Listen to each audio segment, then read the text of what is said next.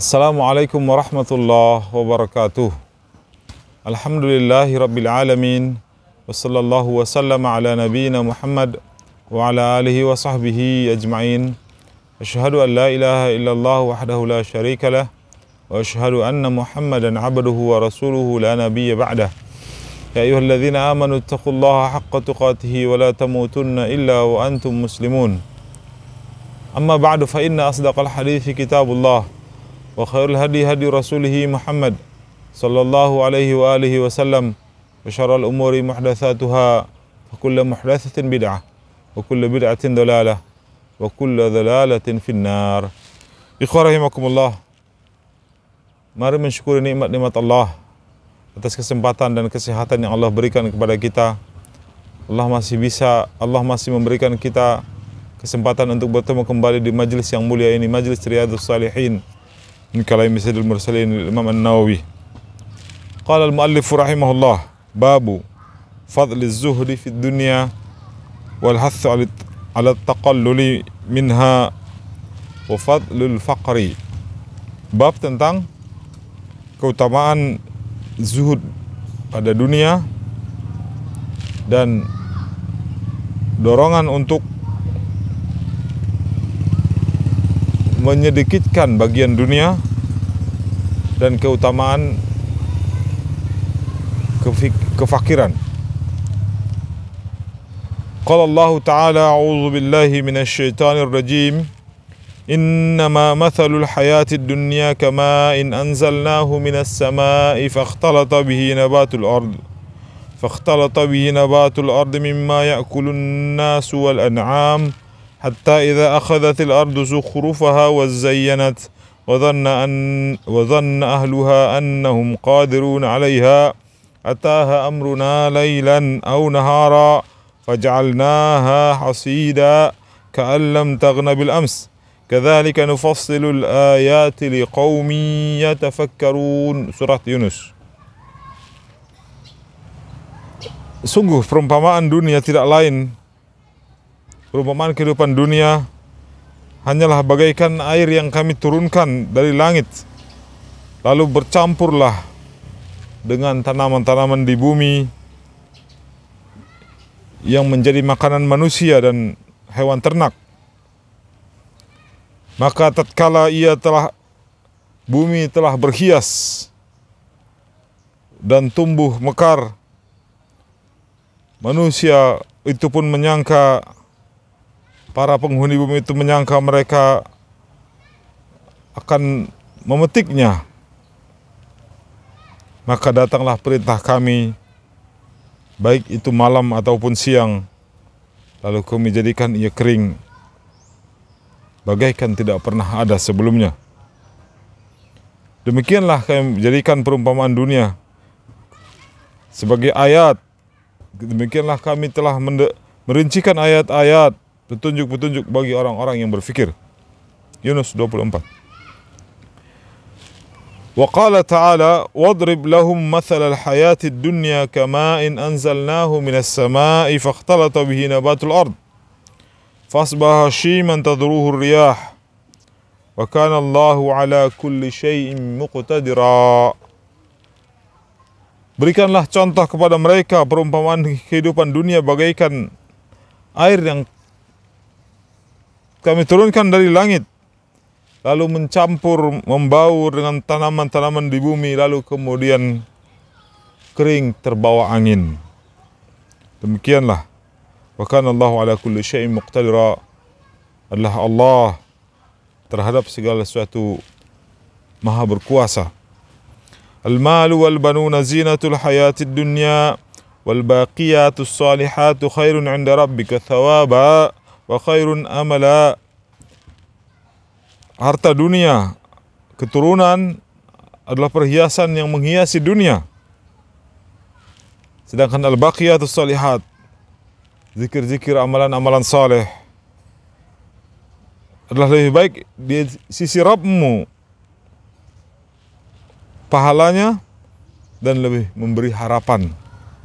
Al-kaf Annamal hayatud dunya la'ibun wa lahu وزينة وتفاخر بينكم وتكاثر في الأموال والأولاد. كمثل غيث أعجب الكفار نباته ثم يهيج فتراه مصفرا ثم تكون حطاما. وفي الآخرة عذاب شديد ومغفرة ومغفرة من الله ورضوان. وما الحياة الدنيا إلا متاع الغرور. Ketahuilah sesungguhnya kehidupan dunia tidak lain adalah permainan dan senda gurau, perhiasan, perlombaan di antara kalian banyak-banyakan harta ataupun anak bagaikan awan yang membuat orang-orang kafir terkagum-kagum dengan hasil tanaman yang di bawahnya yang tertimpa hujan. Lalu kemudian ia menjadi kering, kerontang, menguning, lalu menjadi ranting-ranting kering. Adapun di akhirat azab azab yang sangat pedih atau ampunan dari Allah dan keridoan. Sungguh dunia tidak lain hanyalah kesenangan yang menipu. زين للناس حب الشهوات من النساء والبنين والقناطير المقنطرة من الذهب والفضة والخيل المسومة والأنعام والحرث ذلك متاع الحياة الدنيا والله عنده حسن المآب telah dihiasi di pada manusia rasa cinta kepada syahwat dari pasangan wanita, anak keturunan, perhiasan-perhiasan emas ataupun perak, tunggangan, kuda-kuda yang kokoh dan hewan ternak serta ladang-ladang yang luas. Itulah perhiasan dan kesenangan dunia. Allah di sisi Allah ada tempat sebaik-baik tempat. Ya ayuhan nasu inna wa'dallahi haqqa taghurrannakumul hayatud dunya wa la yaghurrannakum billahil gharur. Fatir ayat 5. Wahai sekalian manusia, Sungguhnya janji Allah adalah hak. Maka janganlah sekali-sekali kalian tertipu oleh kehidupan dunia. Dan janganlah kalian tertipu dalam urusan Allah oleh tipuan apa pun. Wa qala Allah Ta'ala Bismillahirrahmanirrahim Alhaakumut takathur hatta zurtumul maqabir Kalla sawfa ta'lamun ثم كلا سوف تعلمون كلا لو تعلمون علم اليقين لترون الجحيم ثم لترونها عين اليقين ثم لتسألن يومئذ عن النعيم Sungguh kalian telah tertipu, terpedaya oleh perlombaan tekathur, banyak-banyakan sampai kalian masuk ke kubur. Kalla, jangan, tidak. Kelak kalian akan mengetahui akibatnya. Thumma kalla, sekali lagi jangan. Pasti kalian akan mengetahuinya. Kalla, tidak. Lau ta'lamuna ilmal yaqin. Pada saat itu ketika kalian mengetahui dengan seyakin-yakinnya. La tarawunnal jahim kalian akan melihat jahim. وقال الله تعالى وما هذه الحياة الدنيا إلا له ولعب وإن الدار الآخرة لهي الحيوان لو كانوا يعلمون dan tidaklah perumpamaan dunia ini kecuali bagaikan permainan dan senda gurau sesungguhnya kehidupan akhirat adalah kehidupan yang sesungguhnya andai saja mereka tidak mengetahui Ini serangkaian ayat yang disusun oleh al-muallif rahimahullahu rahmatan wasi'ah wa jazakallahu anna wa muslimin khair jaza. Dari kitab Allah yang mulia dikutip dan ditampilkan dalam kitab Riyadhus Salihin. Apa itu dunia? Taksil karena kita membahas tentang zuhud di dunia. Apa itu dunia? Dunia adalah tempat hidup kita. Disebut dunia karena dua sebab. Dunia secara bahasa artinya dekat. Sesuatu yang dekat. Apa maksudnya dekat? Karena di antara dua tahapan kehidupan yang akan kita lewati, kita telah melewati tahapan kehidupan uh, di dalam janin, di perut ibu kita, lalu kita keluar ke dunia. Nanti kita akan keluar lagi dari dunia, menuju ke barzakh, dan setelah itu menuju hisab. Nah, setelah kita keluar dari dunia, maka disebut dengan akhirat dunia dibanding dengan akhirat adalah yang terdekat. Karena kita memang tidak lama di sini. 100 tahun cukup lama bagi yang beruntung. Sebagian 50 tahun, sebagian 30 tahun, sebagian 20 tahun, sebagian bahkan tidak berhitung tahun, hanya Allah yang tahu berapa jatah yang telah kita dijanjikan untuk menjalannya di dunia ini. Akan tapi kesimpulannya dia pendek dan dia sedikit dan dia pasti berlalu. Sebuah kepastian.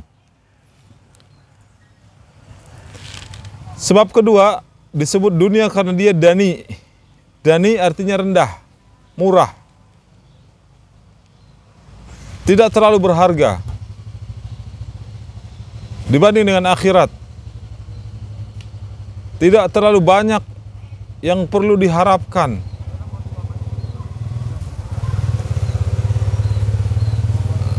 Kullu alladhi fawqa turabi turab. Kata orang Arab, semua yang berada di atas dunia bumi debu ini adalah debu. Semuanya menjadi debu. Dari debu kembali menjadi debu. Akan tapi ada bagian dari kita yang lebih bernilai yang akan kembali bangkit setelah kehidupan dunia selesai. Yaitu keimanan, amal saleh, kebaikan, pahala, dan lain sebagainya. Itu makna kedua dari dunia. Karena itu Rasulullah SAW dari hadis Al-Mustawrid bin Shaddad mengatakan la maudi'u sauti ahadikum fil jannah khairum min dunya ma fiha. Tempat tatakan cemeti seseorang di antara kalian di sorga lebih mulia daripada dunia dan isinya. Tatakan tongkat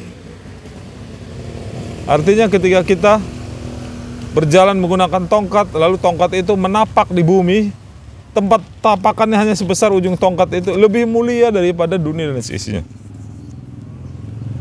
Sallallahu alaihi Nabi Muhammad.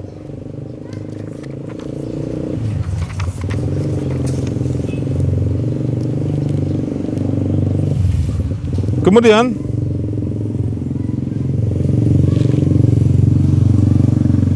Adapun zuhud sendiri dimaknai oleh para ulama sebagai sikap menjauhi segala sesuatu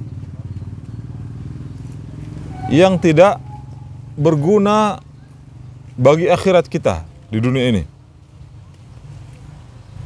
Artinya apa pun yang kita perlukan di dunia, dia harus punya makna di akhirat. Karena itu gambaran yang paling umum dari para ulama adalah dengan mengizinkan seorang mukmin untuk mengambil bagian dunianya untuk akhiratnya. Jadi apa pun yang kita miliki di dunia dia harus punya sesuatu yang bisa membawa kita ke akhirat. Harta boleh. Ilmu boleh. Tapi di dunia ini dia hanya lewat untuk manfaat dan tujuan utamanya adalah akhirat. Banyak pengikut, banyak saudara, banyak kerabat, semuanya adalah sarana untuk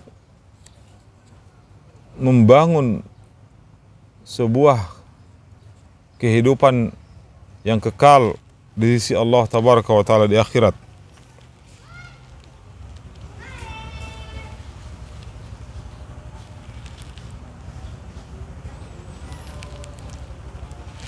Hadis pertama An Amr bin Auf Al-Ansari radhiyallahu anhu أن رسول الله صلى الله عليه وسلم بعث أبا عبيدة بن الجراح رضي الله عنه إلى البحرين يأتي بجزيتها فقدم بمال من البحرين فسمعت الأنصار بقدوم أبي عبيدة فوافوا صلاة الفجر مع رسول الله صلى الله عليه وسلم فلما صلى رسول الله صلى الله عليه وسلم انصرف فتعرضوا له. فتبسم رسول الله صلى الله عليه وآله وسلم حين رأهم ثم قال أظنكم سمعتم أن أبا عبيدة قدم بشيء من البحرين؟ فقالوا أجل يا رسول الله. فقال أبشروا وأملوا ما يسركم. فوالله ما الفقر أخشى عليكم. ولكني أخشى أن تبسط الدنيا عليكم كما بسطت على من كان قبلكم فتنافسوها كما تنافسوها فتهلكهم كما أهلكتهم فتهلككم كما أهلكتهم متفق عليه. عمر بن أوف الأنصاري رضي الله عنه من تلتقى رسول الله صلى الله عليه وسلم من mengutus أبو بيدة بن جراح untuk menjemput zakat atau jizyah. Jizyah adalah senilai harta yang dibayarkan kepada pemerintah muslim oleh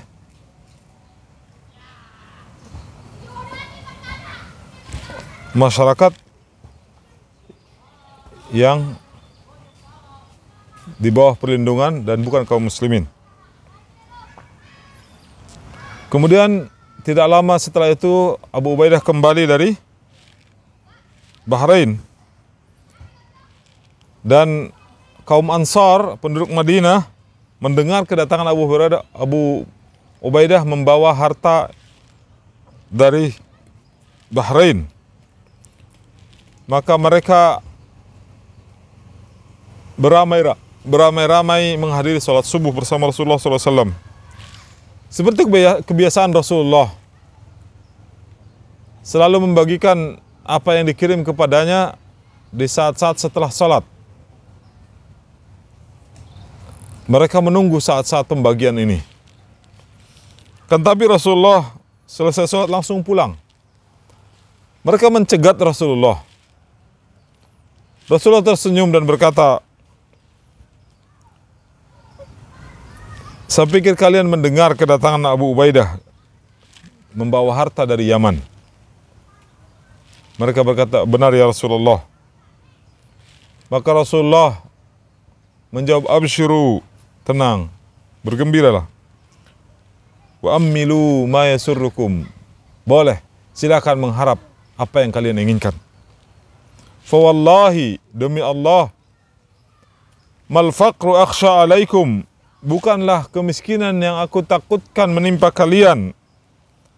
Akan tetapi aku lebih takut bila kalian telah menaklukkan dunia dan dunia terbuka di hadapan kalian sebagaimana pernah terjadi pada orang-orang sebelum kalian lalu kalian berlomba meraihnya lalu binasa sebagaimana mereka binasa. Kharakumullah. Rasulullah yang mulia yang berbicara dari wahyu yang dituntun oleh Jibril telah menyampaikan ini dan ini berlaku kepada setiap orang yang mengaku umat Rasulullah. Kalau kaum Ansar saja yang telah teruji keimanannya, yang telah melewati masa-masa sulit membela Rasulullah, menyelamatkan Rasulullah dari tekanan kaum Quraisy. Goncang karena dahsyatnya fitnah harta, berlomba merebut harta, maka siapa pun yang datang setelah mereka harus lebih waspada akan dirinya dan godaan syaitan. Lebih waspada betapa dahsyatnya fitnah ketika harta masuk dan menjadi titik pertarungan antara orang-orang yang beriman. Ini inilah fitnah yang sungguh dahsyat. Dan Rasulullah mengatakan, "Mal faqra akhsha alaikum." Bukan kemiskinan yang aku takutkan pada kalian, tetapi Aku lebih takut kalian menguasai dunia, lalu dunia berbalik menguasai kalian, lalu kalian binasa. Nauzubillah. Wa nasallahu al-afiyah. Wa akhiru da'wana anil hamdulillahi rabbil alamin.